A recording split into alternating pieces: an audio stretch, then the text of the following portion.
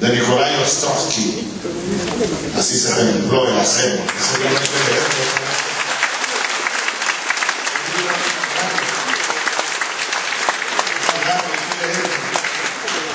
Así se templó el acero.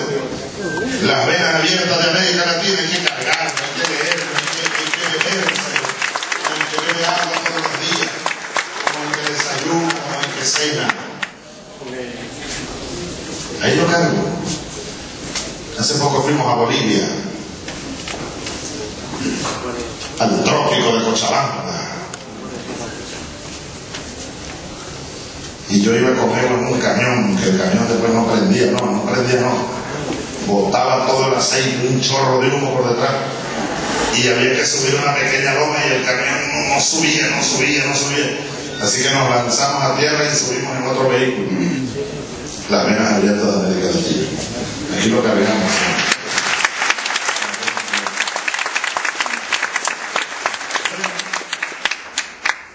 Y, y fuimos a la Cochabamba. Cientos de miles de indios e indias, los aymaras. Y yo le recordaba, recordaba con Evo, volamos en helicóptero un rato, después por tierra otro rato, recordábamos lo que está aquí, lo que ocurrió allí, en el Potosí, aquel cerro de plata. Dice Eduardo Galeano que se llevaron los españoles conquistadores tanta plata del Potosí que bien se hubiese podido construir un puente de plata, por supuesto, entre el Cerro Potosí y la entrada del Palacio Imperial de Madrid. Pero después se llevaron el estaño, el oro y ahora el gas del petróleo. Es la misma historia. Entonces, ¿cómo se va a quedar uno callado? Aunque sea el mismísimo señor Papa el que venga aquí a decirnos que aquí no hubo ninguna masacre. No, que los indígenas recibieron con amor.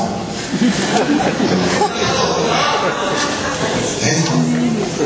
Entonces, a mí se me ocurrió, con respeto, con el mayor respeto posible, ¿no?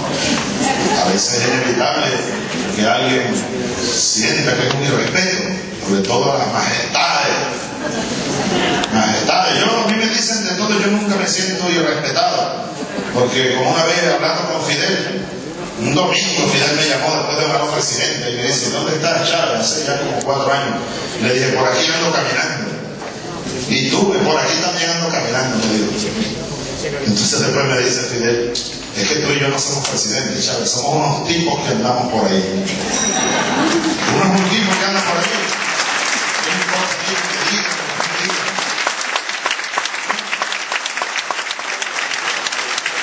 Pero hay otros que hablan con unas sensibilidades de siglos, acumuladas por siglos y se sienten ofendidos por alguna frase. Uno tiene cuidado, pero ¿cómo se hace? Uno tiene cuidado. Entonces al Papa, yo no, al Papa lo que yo se me ocurrió, en un presidente, dije, voy a hablar de un tema. Me persigné. Un tema que es muy delicado, pero pasó esto, esto y esto. Y hice unos comentarios y le dije al Papa, si tiene alguna duda, le recomiendo que se lea un librito que escribió Fray Bartolomé de las Casas, que se llama Breve Relato de la Destrucción de las Indias. Cómo los españoles conquistadores destrozaron lo que Colón creyó que era la India. Que esa es otra cosa. Nosotros nunca nos llamamos indios. Los indios eran de la India. Una vez yo fui por allá, por, por la India, ¿cómo se llama? Aquella región donde gobiernan los comunistas, afortunadamente, desde hace como 30 años. Al sur, al sur de la India. ¿Qué se llama? ¿Quién recuerda? Bengala Occidental. En Bengala. Allá fuimos, pasamos dos días, recorrimos aquellos pueblos, caseríos. Gracias, compañero. Bueno, entonces uno decía, bueno, ustedes son los indios. Nosotros, a nosotros nos pusieron el nombre de indios porque Cristóbal Colón tuvo un pequeño error, el gran almirante. El gran almirante tuvo un pequeñito error. Él creyó que había llegado a la India y estaba era en las costas del Caribe. Pequeño error. Pequeño error que no se tomó en cuenta para declararlo el gran navegante de la historia. Pequeño error de algunos kilómetros y algunos grados en la, en la dirección de navegación. ¿Ah? Unos 100 metros, equivocó 100 metros. 100 metros. Bueno, y nos quedamos indios. Somos los indios, bueno, sí, con mucho orgullo somos los indios. Y luego viene un señor llamado Américo, Vespucci creo que era. ¿Eh? Y entonces nos pusieron América, pero nuestro nombre aborigen es Abyayala, el nombre que se pronunciaba desde estas primeras del Río de la Plata hasta el Caribe, Abyayala. Entonces, a veces uno tiene que salir a responder.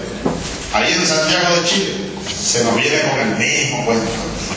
Yo tengo nueve años oyendo el cuentico ese. No, que las inversiones privadas, no, que las privatizaciones, esa es la fórmula para el desarrollo. A estas alturas yo considero eso un irrespeto. Hace nueve años, cuando bueno, yo estaba comenzando en estas funciones de presidente y comencé a ir a cumbres, entonces uno, uno tomaba nota. Tomaba nota, nunca se me olvida. Siempre lo recuerdo. La primera cumbre a la que yo asistí como presidente, cumbre, reuniones, cumbre, pues, así son llamadas, la cumbre. Eh, estaba Fidel, la primera vez que coincidimos. Yo no hablé mucho. Fidel habló una hora, yo hablé como 10 minutos nada más. Yo era muy tímido. Era muy tímido. No, no incluso Fidel me mandó un papelito primero, me dijo, tú no vas a hablar, porque pasaba, hablaba, hablaba, hablaba. Y yo estaba ahí empezando, era nuevo. Y además aquello era un coro al neoliberalismo. Oh, un coro al alca. Así que uno aparecía ahí como una cucaracha en baile de gallina. Parecía uno. Entonces Fidel me manda un papel que tú no vas a una charla. Pero pues bueno, ya ves que digo aquí.